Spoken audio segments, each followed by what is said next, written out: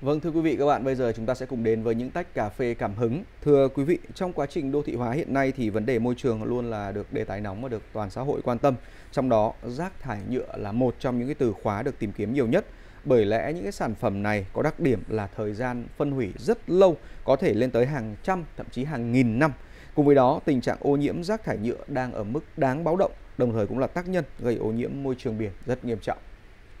Và thưa quý vị, à, từ đó để nhằm hạn chế sử dụng à, rác thải nhựa sử dụng một lần thì à, thúc đẩy người dân phân loại rác tại nhà và rác thải nhựa một cách triệt để nhất thì một trong số các dự án nhỏ đã được ra đời đó là đổi chai nhựa lấy sen của tổ chức Green Life đã được ra đời. Dự án nhỏ này không chỉ nhằm khuyến khích người dân giảm thiểu rác thải nhựa mà còn là một tấm gương trong việc bảo vệ môi trường sống của chúng ta.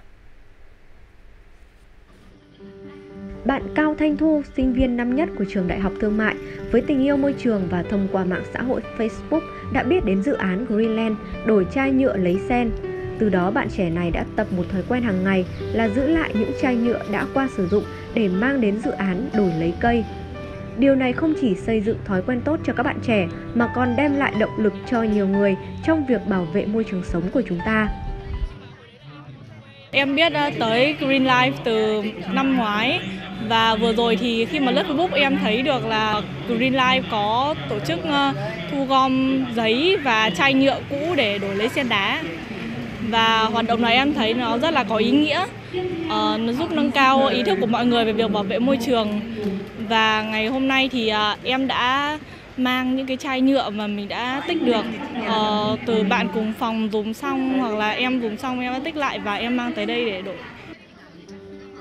Nhiều gia đình, phụ huynh khi biết đến dự án này cũng nhiệt tình ủng hộ bởi lẽ khi tham gia những dự án về bảo vệ môi trường như thế này sẽ là một phương pháp dạy cho con trẻ của mình được hiểu hơn về môi trường sống và hình thành ý thức phải bảo vệ lấy môi trường sống của chúng ta bất kể là ở lứa tuổi nào.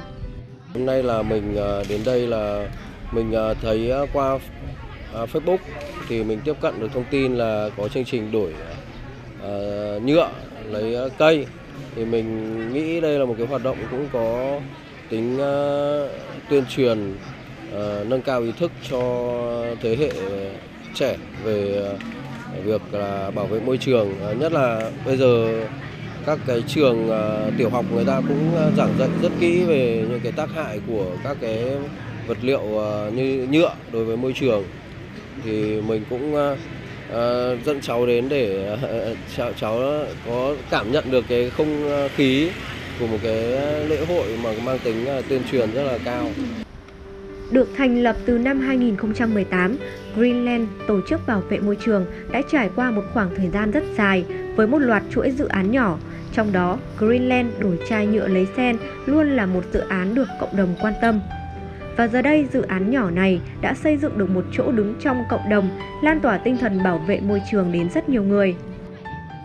Mỗi người đến đây thì đây là một sự kiện à, đổi chai lấy cây ạ. Thì mỗi người chỉ cần mang đến à, một chai nhựa thì có thể đổi được lấy một sen đá và mỗi người thì sẽ chỉ được tối đa là một sen đá. Mục tiêu của chương trình là hướng đến là phân loại rác tại nguồn, à, khuyến khích mọi người dân ấy phân loại rác và giảm thiểu rác